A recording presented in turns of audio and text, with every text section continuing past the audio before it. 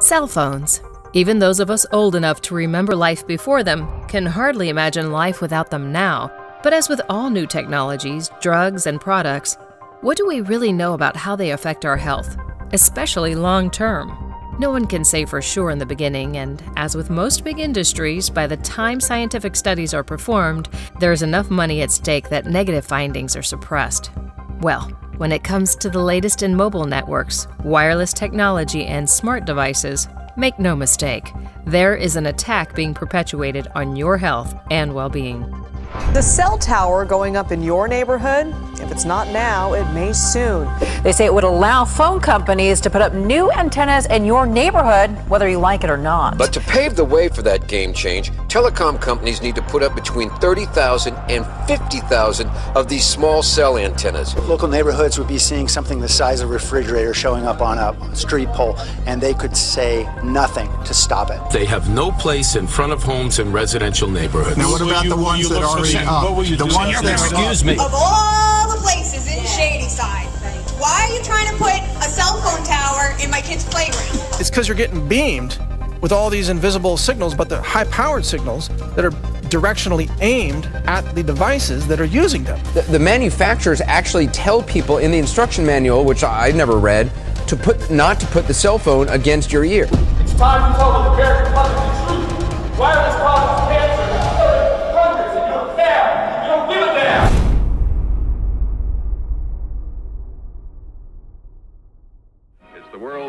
first electronic computer. Right now, it's solving mathematical problems for the U.S. Army, but who knows? Someday a machine like this may check up on your income tax.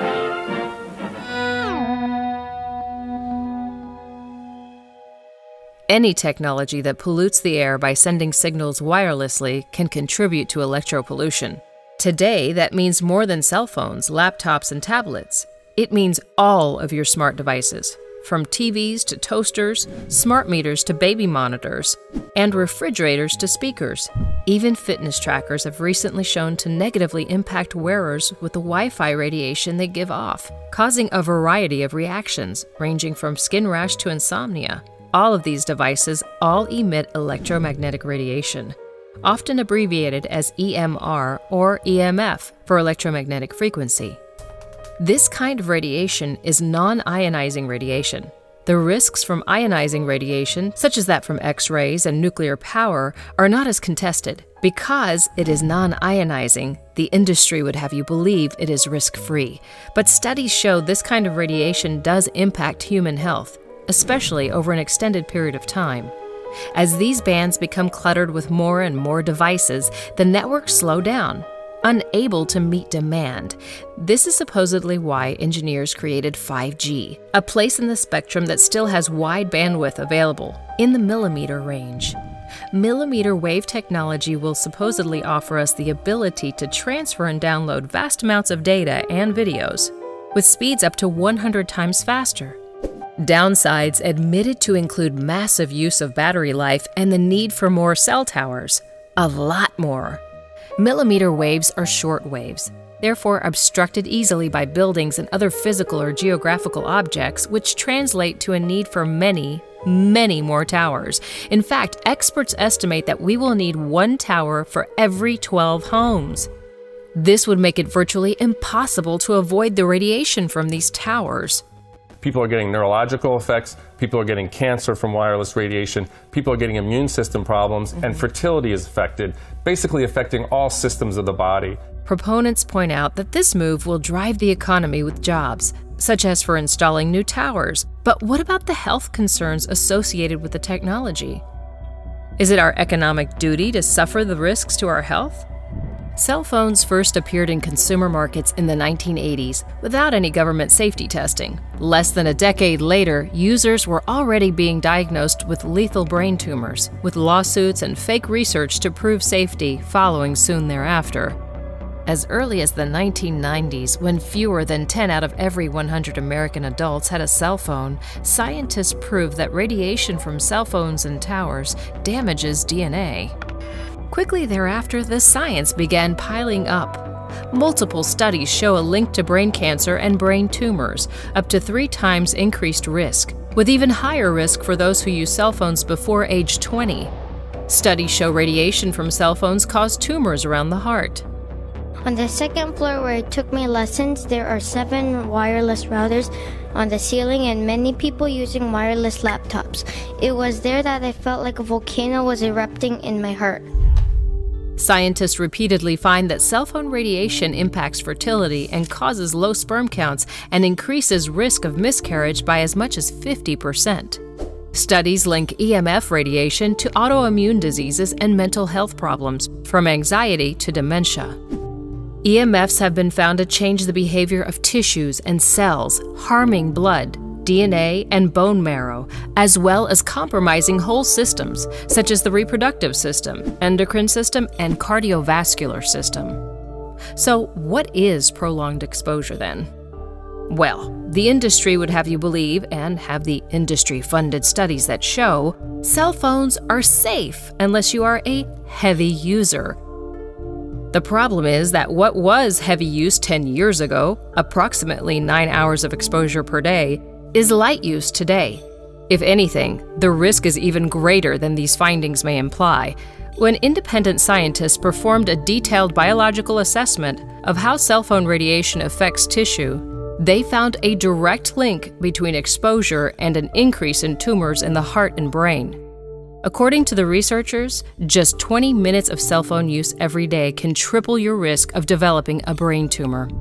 Combine that with the fact that 9 out of 10 cell phones exceed regulatory limits for radiation, according to the latest data, with most emitting three times the radiation as manufacturers claim, and you can begin to see the concern. And 5G makes it all worse. Cell towers, mobile phones, smart meters, and other smart devices emit electromagnetic radiation. These frequencies are how the new technology will enable downloading more data at higher speeds. Additionally, 5G networks will employ MIMO technology, an acronym for multiple input, multiple output. This type of technology uses a lot more transmitters per cell tower to send and receive information. This increase in transmissions and therefore EMF exposure is expected to correlate to an increase in health trauma. Trials of the new technology have not gone well. After 5G was installed around firehouses in San Francisco, firefighters started reporting unusual health problems, ranging from confusion to memory problems. Symptoms disappeared when they relocated to different fire stations. And last time I checked, firefighters weighing in, who dorm and live, we are not transient employees, at the fire stations, when did we stop mattering as far as input goes from people and as stakeholders for, for what the impact is going to be these towers? A scientist from Gateshead, England, is speaking out about the health problems 5G has created in his community. After 5G was installed in their street lamps in 2016, residents started experiencing a variety of side effects, ranging from insomnia to nosebleeds and even miscarriages, birth defects, and stillbirths. Scientists believe the EMF radiation disrupts gene expression and the body's ability to keep cells healthy. Millimeter wave radiation has been shown to be more easily absorbed by human skin, leading Israeli experts to warn of increased risk of skin cancer and skin diseases for those exposed to this type of radiation. In 2002, a Russian study confirmed that millimeter wave technology compromises the immune system. Separate Polish and Japanese studies found that the technology damages eye tissue. Other research linked exposure to disruptions in heartbeats and rhythms and linked it to heart disease, sleep disorders, and infertility. We are already being bombarded with electromagnetic pollution from our smartphones, Wi Fi, smart meters, new vehicles, and all the other automated devices on the market. Recently, it was proven that smart meters interfere with normal heart function. They emit a constant bombardment of microwave radiation that can be very damaging to the heart, which most people don't realize. As our society moves towards smart homes and smart cities, driverless cars, and autonomous augmented realities, we will all become even more saturated in electropollution. It's not just children and pregnant women that are in danger. Peer reviewed studies have consistently shown that EMF radiation impacts nature and wildlife too. And meanwhile, before 5G is rolled out in mass, Lawmakers are busy passing new laws that will make it difficult for communities to opt out of using the technology. All in the name of progress. Why? Cell phones constantly talk to cell towers using microwave energy, continuously exposing us to the microwave radiation. Research by the U.S. Navy found that this radiation breaks down cell membranes and the blood brain barrier that keeps toxins out of the blood. As far back as 2011, the World Health Organization's International Agency for Research on Cancer warned that radiation from cell phones was possibly carcinogenic to humans. In 2014, the California Department of Public Health refused to release the documents detailing the risks of exposure to cell phone radiation and the correlation between long term use and increased risk of cancer. They claimed it was suppressed because it would lead to chaos and confusion among the public. However, they also argued that to release the documents would negatively impact the telecommunications industry. In 2017, a Superior Court judge ordered them to release the documents in the interest of public health. The U.S. National Toxicology Program confirmed that EMF radiation from cell phones causes cancer in 2016. The $25 million decade long study found the same unusual cancers around the heart, schwannoma, and malignant brain glial tumors that previous studies have found. Scientists were so concerned that they called on the World Health Organization to re evaluate the carcinogenity of cell phone radiation.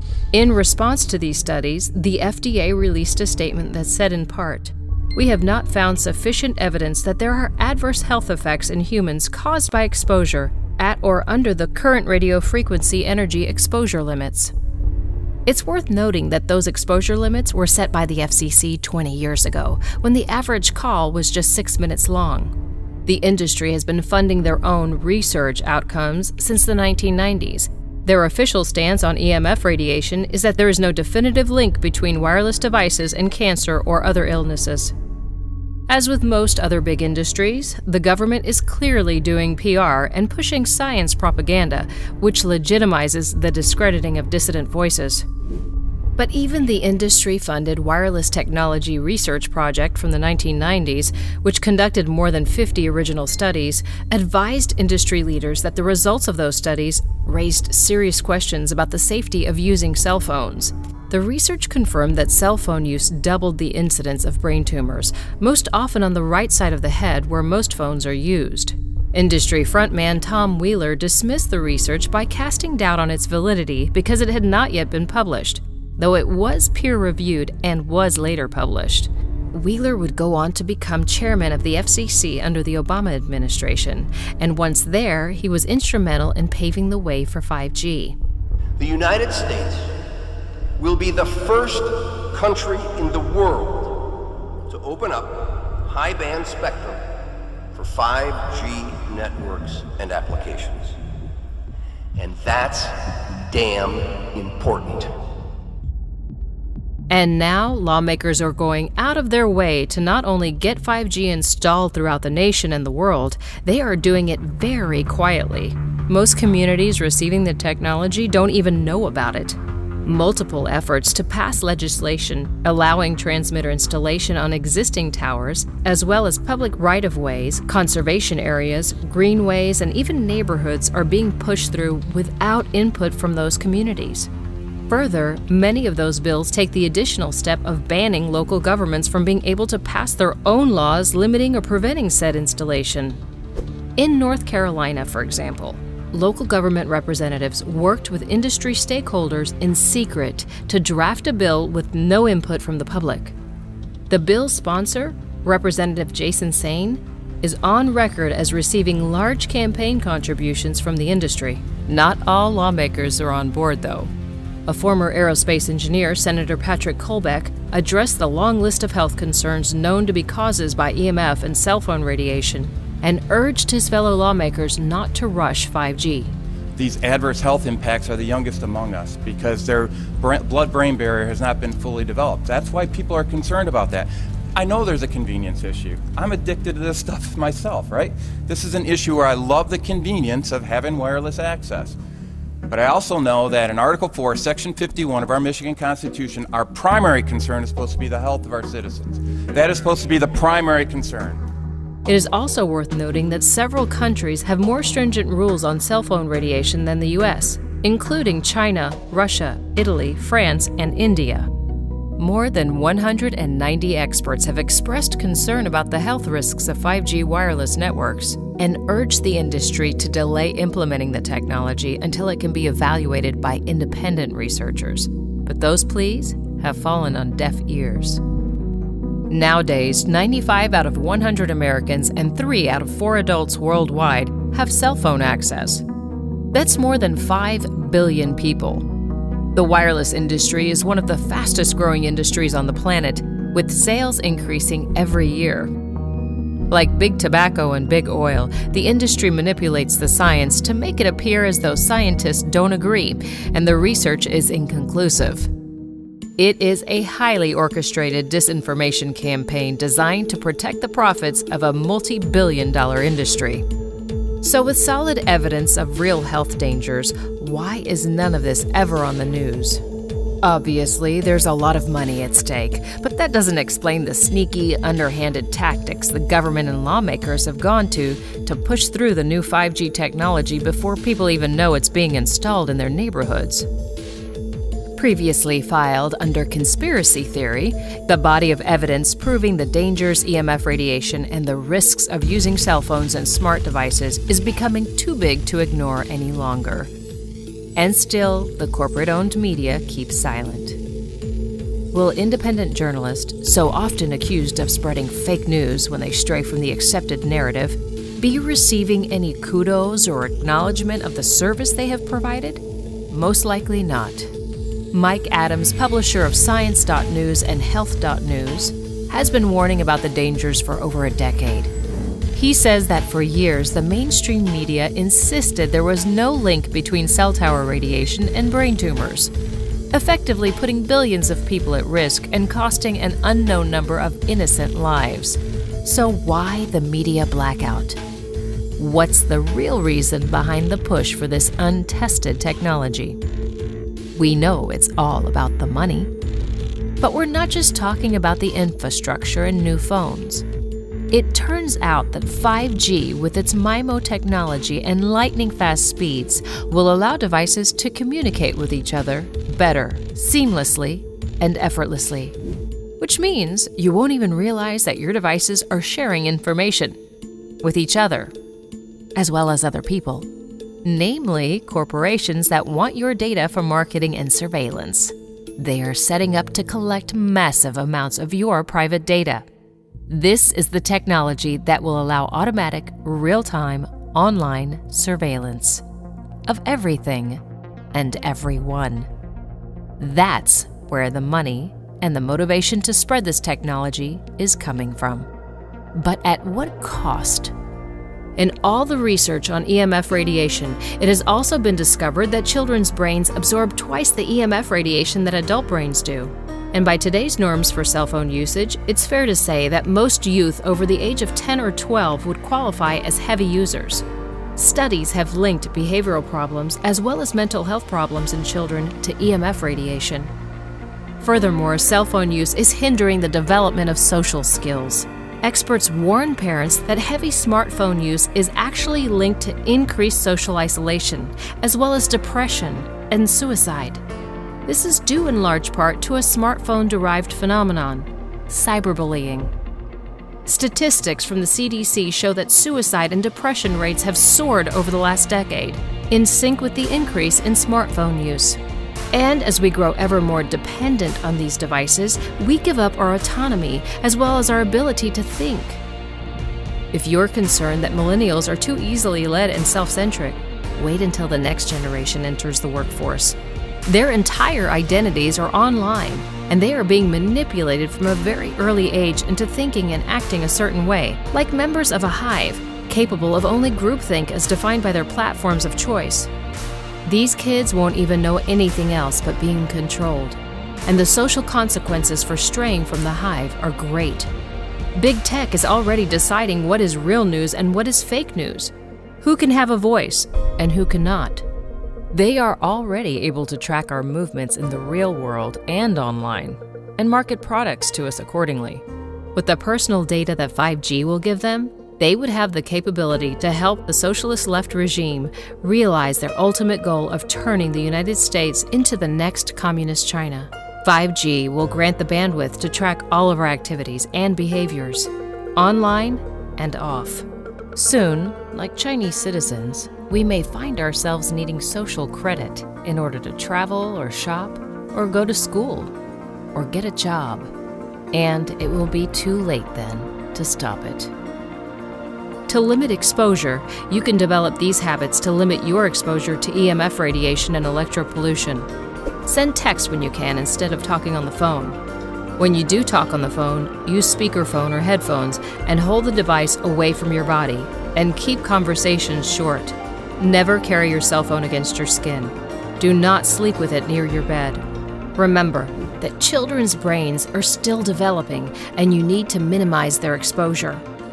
To fight 5G being installed in your community, contact your federal, state, and local government representatives to share your concerns and ask for them to slow the process. Review the evidence and think about better protections and more research. Spread the word with neighbors and friends and encourage them to take action as well. Otherwise, with so many pollution crises facing society today, such as the trash in the oceans, the heavy metals in the water, and pesticides in our food, Will electropollution awareness gain the traction it needs to affect change? After all, it is, for the most part, invisible, which makes it very easy for the telecommunication industry to downplay potential risk by keeping it out of sight, out of mind.